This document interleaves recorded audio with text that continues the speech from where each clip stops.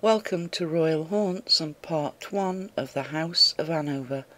After 111 years of Stuart rule came the House of Hanover. We have to look back to the Stuarts to see how this succession came about. Elizabeth, the eldest daughter of James I of England, married Frederick V, who was Elector of Palatine, this being a principality.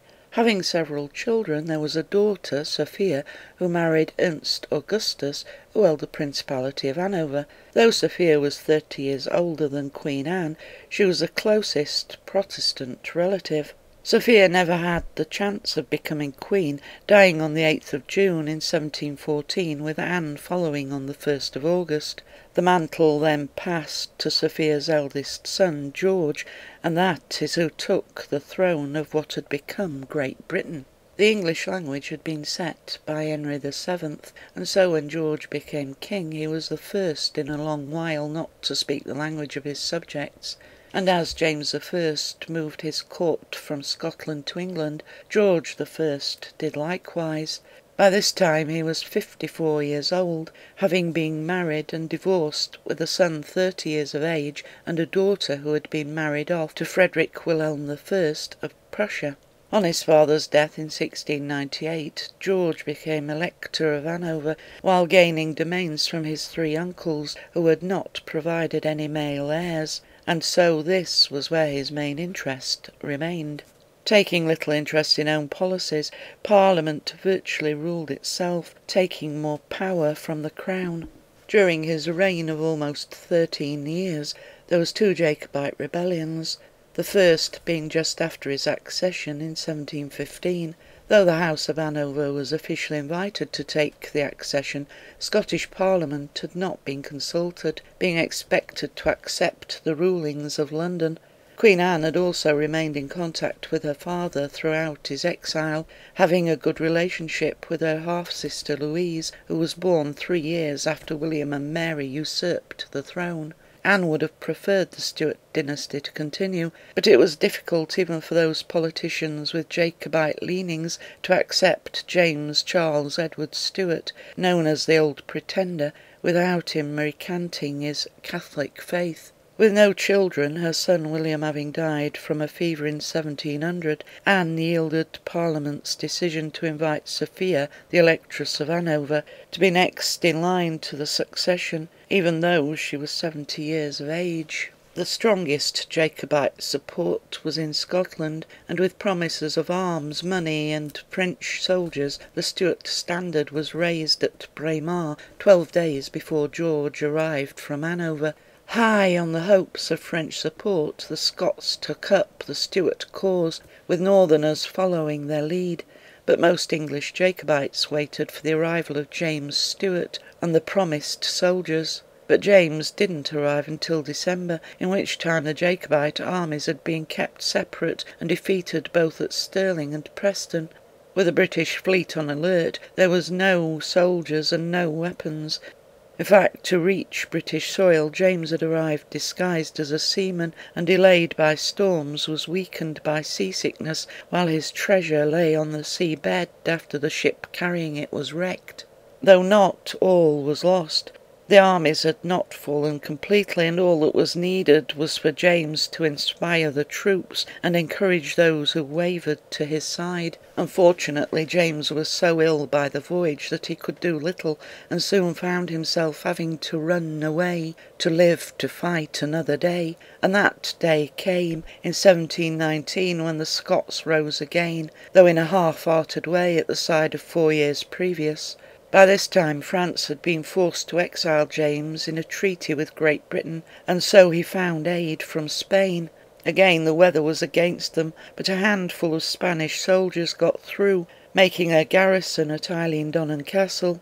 Set on the shores of Loch Duich, naval ships were sent to take the castle, blasting it with cannon fire until the munition room took a hit. A Spanish soldier is said to haunt the castle, though it's not known if he was killed there or at the Battle of Glen Shiel. Either way, he appears a headless figure.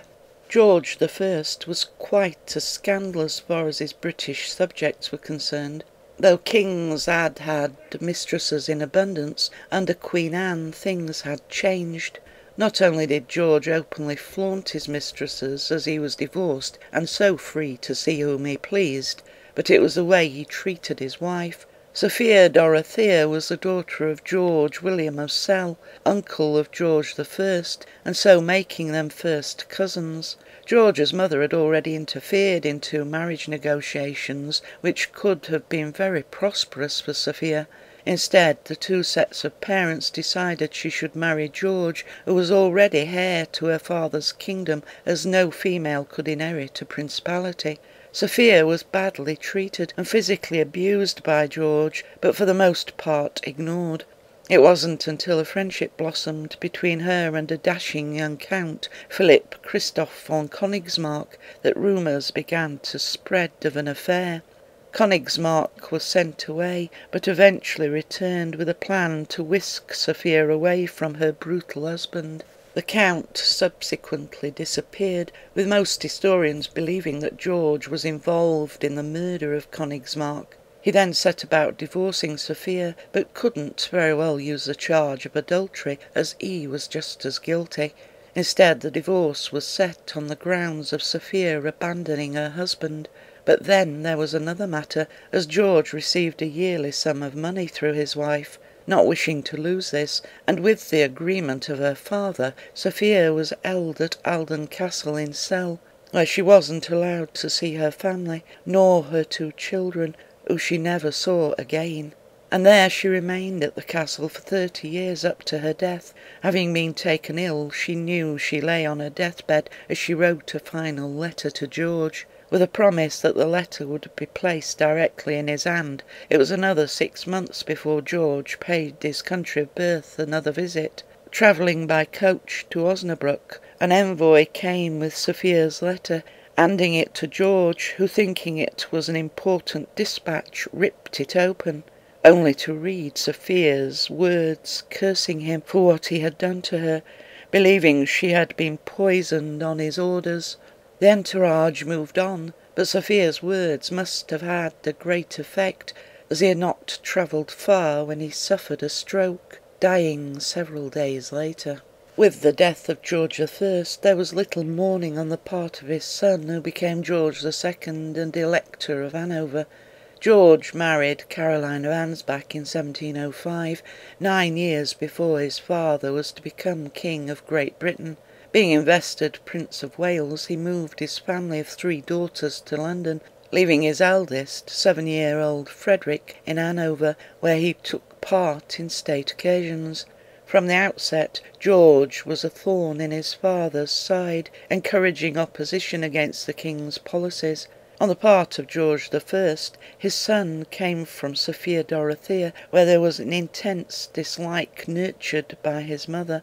And as for George the Second, having his mother taken from him when he was eleven years old, never being allowed to see her again, stemmed a hatred for his father that the two argued to the point that George and Caroline was exiled from court. It's highly likely that had George the First lived, he would have pressured Parliament to bypass his son's succession in favour of his grandson Frederick. George II must also have felt that Frederick was being groomed by his father, and because he had received the favouritism of George I, when Frederick was called to England he found his estranged family hostile towards him. This led to Frederick holding a court of opposition against the king's policies. Living the standards of a prince, the allowance was not enough, that he soon accumulated debts that Parliament had to intervene and increase his allowance. Frederick was 29 years old when he married. His wife, Princess Augusta, was 16 years old and spoke no English, but the marriage was a successful one, producing nine children. Had Frederick lived, he may have found himself cast further afield, as there was thoughts of sending the Prince and Princess of Wales to the colonies, while setting out the motion to bypass him in the succession in favour of his younger brother, William Duke of Cumberland.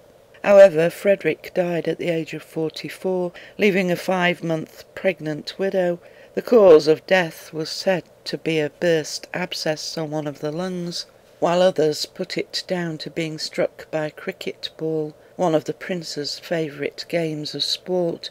There were also those who considered Frederick's death to be very convenient, leading to whispers that the prince had been done away with. The succession was then placed upon the eldest son, George, who was no more than a thirteen year old boy. During the reign of George II, with most of Europe at war, Britain declared war upon Spain. In turn this set an advantage for yet another Jacobite rebellion. They were once again aided by France, who yet again promised to send troops to fight with the Jacobite rebels. The year was 1745, twenty-seven years since the last rebellion, with a whole new generation of young Scots ready to fight for a return to the House of Stuart. It also meant that James was twenty-seven years older, and no doubt remembering the voyage that had caused him to have to be carried to shore, this time it was his son that carried the banner on behalf of his father. Charles Stuart was the biggest threat that came close to toppling the Hanover throne, and had his ambitions been to take just Scotland, they may well have been fulfilled. With a fleet of ships, Prince Charles set sail, only to have to retreat through bad storms. The second attempt was only successful in that Charles reached shore with a handful of friends. There was still support for the Jacobite cause among the Scottish clans, but Charles didn't receive the welcome he expected. All went well for Charles as he rose his father's standard at Glenfinnan, and there appeared to be no stopping him as taking Edinburgh his force grew. Defeating the Parliamentary army at the Battle of Prestonpans, the army of 6,000 continued on to Carlisle until they finally reached Derby. By this time the welcome was more hostile, with provisions being withheld from the troops, while bridges and roads were blocked to heed their progress. With no sign of French troops coming to their aid, the generals argued for a return to Scotland. Charles was bitterly disappointed, but with no other option headed north, with the hungry, demoralised army knowing the English, headed by George II's son William, was hot on their heels. It was at Culloden where the weary Scottish soldiers met their fate. The Duke of Cumberland and his men showed no mercy, killing those that lay wounded, leaving over one thousand dead. Charles escaped, leaving within minutes at the start of battle. It's said that Culloden, the field that was drenched with so much Scottish blood, re-enacts what took place on that terrible day of the 16th of April 1746, the anniversary being the most prestigious date for any paranormal activity.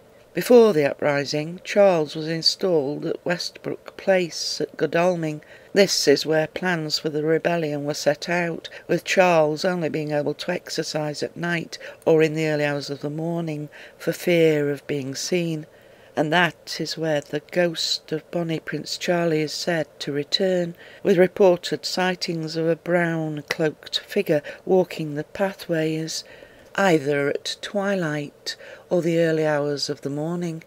Another haunt said to be that of Bonnie Prince Charlie is the Salutation Hotel at Perth. During the campaign, Charles used the hotel for his headquarters, which now claims the ghost of the prince haunts the bedroom he used. After months of being on the run, Charles returned to exile, where he fell into a life of drunken debauchery. His father, being recognised as king by the Pope, didn't give Charles or his brother Henry the same honour. Suffering a massive heart attack, George II died at the residential home of Kensington Palace, where he is now said to haunt. Tales go that George can be seen on the odd occasion looking out of a window to the weather vane, as he often did in life. Though he was King of Great Britain, his main interest lay in Hanover, and he would often look to the vane to see which way the wind was blowing, as ships could be delayed if the weather was against them. His death meant a new king for Great Britain, with succession going to his 22-year-old grandson, who for the next 60 years reigned as George the Third.